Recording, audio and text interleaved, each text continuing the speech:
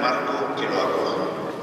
Las trompetas, el órgano y los timbales conciertan, armonizan, concuerdan en un compromiso sin discordancias, sin necesidad de que prevalezca uno sobre los otros para expresar su propia grandeza y esplendor.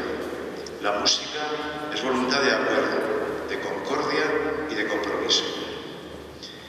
En el díctico que tienen en sus manos se describe brevemente la dilatada carrera y exhaustiva y completa preparación del quinteto, formando parte individualmente de las más reconocidas agrupaciones musicales. Como agrupación han sido merecedores de los comentarios más elogiosos por parte de la crítica especializada.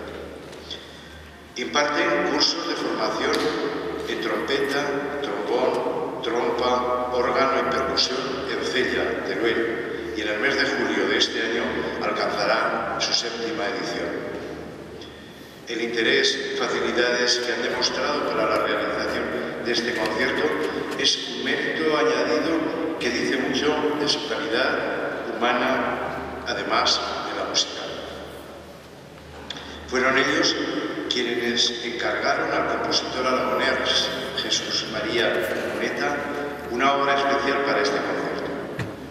Fruto de ese encargo, hoy se estrena en rigurosa primicia la fanfarria para el juramento de los compromisarios. Hoy se celebra también el 600 aniversario de la muerte de Fernando I de Aragón, el rey proclamado aquí en el compromiso de Caspe, apenas cuatro años antes.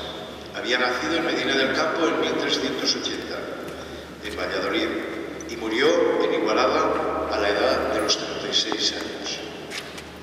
Solo me resta expresar el agradecimiento del Centro de Estudios Comarcales del Banco Aragón Caspe y el mío propio al brillar Mamus Quintet,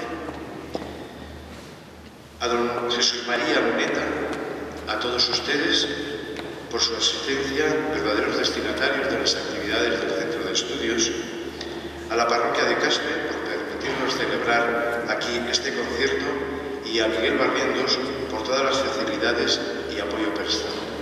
Muchas gracias. Con ustedes, Millán Magnus